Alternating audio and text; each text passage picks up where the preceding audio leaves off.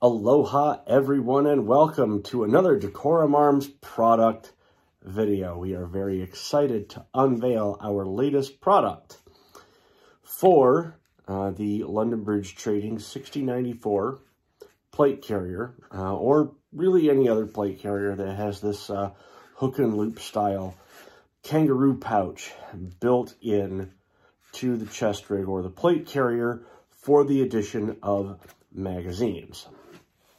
This feature is one of the features that drew me to the uh, 6094 itself.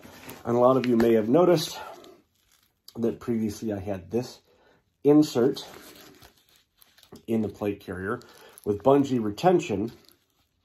The trouble is, this only works on 5.56 magazines.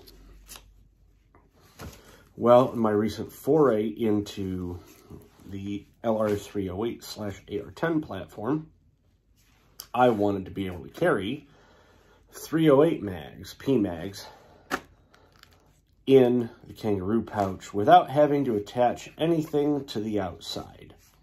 So uh, I set about working on a Kydex solution, and it looks kind of like this. Uh, there is hook and loop on the front and back. I drilled some holes in the bottom uh, to let the water out. Probably going to end up making those a little bit bigger, right?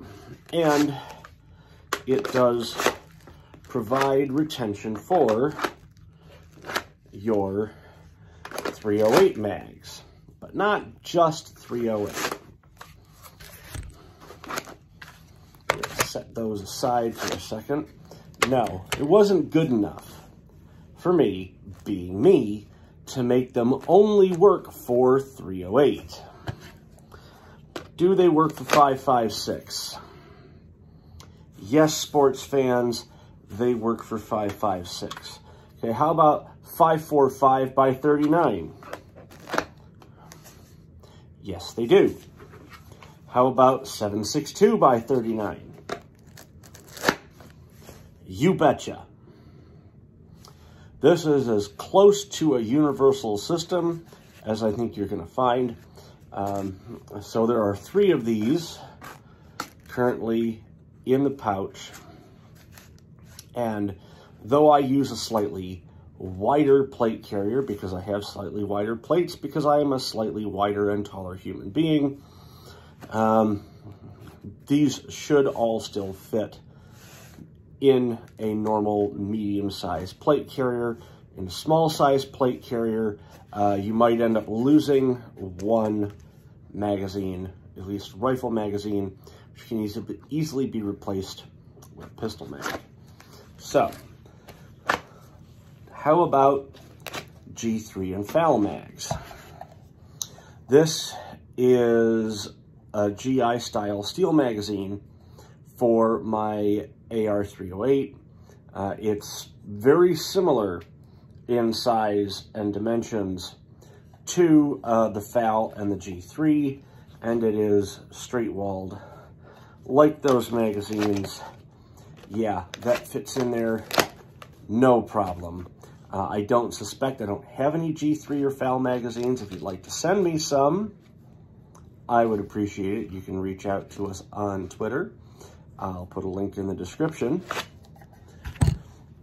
thing that prompted me to make this was not only my desire to have 308 in the kangaroo pouch on my plate carrier. A lot of you have seen these. I don't actually know who makes this, which is good because I'd get in trouble calling people out on the internet. This is what you typically find as a universal magazine holder. There are a number of things I don't like about these. One of which is I am not a fan of Velcro flaps. Why? I've seen people fumble with these during a mag swap. They go, whoop, comes up, and it falls right back down, and now it's already reconnected. You have to start the process all over again to get the magazine out. Another big reason that I don't like these is particularly if you run 556, okay? You basically get two 556 magazines in here, and it offers very little in the way of retention for those without the Velcro flap. Because again, you know, there's room for for two 556 magazines. Now these work fairly well in the realm of AK magazines, and that's really kind of their target market. It's for people who want to be able to run AK and AR pattern magazines without really having to worry about buying an additional set of pouches or swapping them off a plate carrier or a load-bearing vest every time you want to change calibers. This, in my opinion, is a much more elegant solution to this problem because it provides Kydex retention and it provides the same level of retention regardless of the magazine. Or close enough to the same level of retention. And because this is hook and loop in here, um, if you have taller magazines like 762 by 39, you can in fact move it further down into the pouch uh, to give yourself more room up here. Uh, I'm going to be testing these pretty extensively over the next couple weeks as the weather's beginning to warm up now. And um, hopefully I'll have them up on my Etsy store soon. They are currently only available in black and we'll be looking to change that eventually as well. So until next time, friends, aloha and be excellent to each other.